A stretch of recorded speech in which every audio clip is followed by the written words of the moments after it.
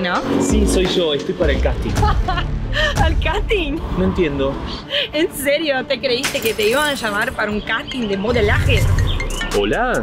Hola, ¿es Roxy? Sí, soy yo quien habla. Estoy para un casting de modelaje. Me encantó tu perfil. eh, Te voy a mandar la dirección. Ay, me encantaría. Sí, por favor. Estúpida. ¿Por qué sos tan cruel? Estúpida. Disculpe, escuché que vos sos modelo. Benito Hernández. Ella no es modelo, pero yo sí. Pero me encantaría hacerlo. Yo soy diseñador y estoy buscando una chica que sea la imagen de una marca muy importante. Y vos creo que sos la indicada. Ella no es modelo profesional. ¿La vio bien? Yo sí soy. Sí, pero lo que pasa con usted es que no es lo que estamos buscando. Es muy plana. Necesitamos una chica con más curva. Rosy, creo que tienes la belleza ideal. Ay, gracias por la oportunidad, Benito. Ese billete es mío.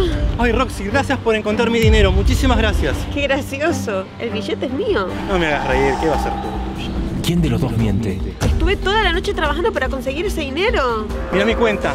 ¿Vos pensás que esta sucia por diosera va a tener esa plata en su banco? Me parece que no es el indicado. Bravo, Roxy. ¿Qué está pasando acá? Hola. ¡Jefa! Soy el indicado, jefa.